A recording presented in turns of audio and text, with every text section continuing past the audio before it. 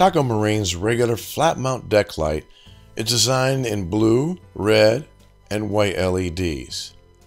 They are 8 watts each and have an output of 540 lumens and draw less than a half an amp.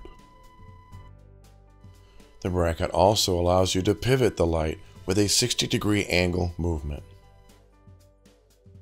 This deck light pipe mount has the same power and output, just designed with a more aluminum look, and has a housing that fits most T-tops and hardtops with the same white, blue, and red LED lights.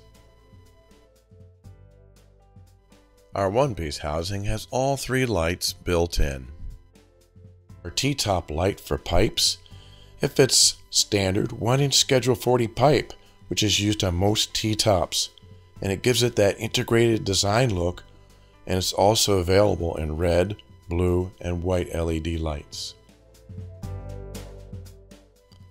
Our flat mount T-top lights are also 540 lumens, and it comes with a 60 degree pivot in the mount.